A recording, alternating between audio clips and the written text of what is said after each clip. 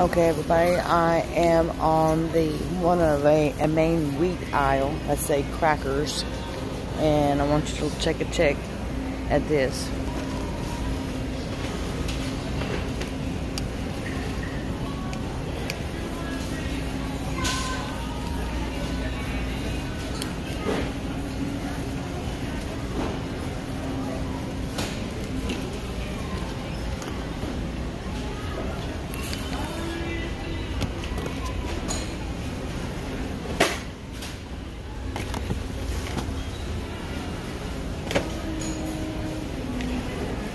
These are going to disappear because there's no way to make them anymore.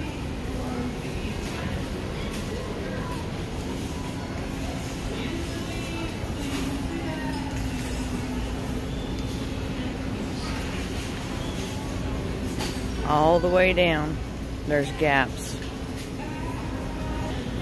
Well, you have it here. The end of the cracker aisle keep on prepping.